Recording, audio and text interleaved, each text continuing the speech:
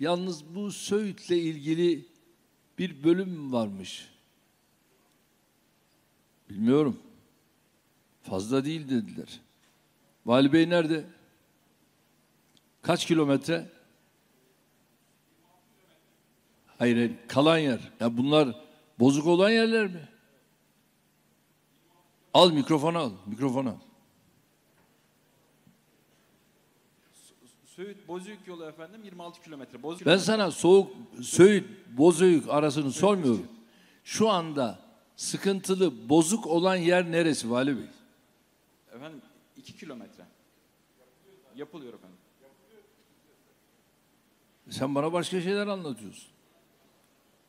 Adil Bey süratle hemen anında.